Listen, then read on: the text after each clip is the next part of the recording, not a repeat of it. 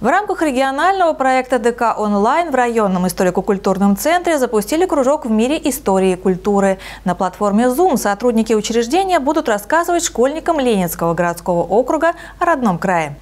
Первый онлайн-урок был посвящен созданию и работе градообразующего предприятия Московского коксогазового завода. Слушатели – ученики 4 класса 2 Видновской школы. Во-первых, зачем э, построили коксогазовый завод? А, э, естественно, исходя из этого, как, каким образом появился наш город? Что такое кокс, что такое газ, зачем это тоже нужно в жизни? Формат Zoom не новинка для школьников. Весной в самоизоляцию они даже обучались с помощью этой платформы. Сегодня же ученики все еще находятся в школах, а различные мероприятия имеют возможность посещать онлайн. Это, ребята, самый настоящий кокс. И вот он необычный камень.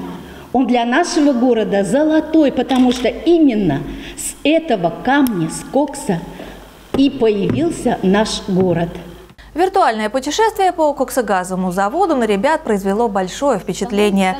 Связь не зависала, программа Zoom работала исправно, поэтому 30 минут урока прошли на одном дыхании.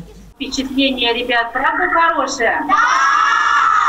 Замечательные занятия. Мы очень давно сотрудничаем с историко-культурным центром. Мы с нетерпением ждем каждое занятие. Следующее онлайн-занятие состоится совсем скоро и будет посвящено экологии. Методисты ИКЦ уже готовят сценарии, подбирают видео и фотоматериалы, чтобы также заинтересовать школьников.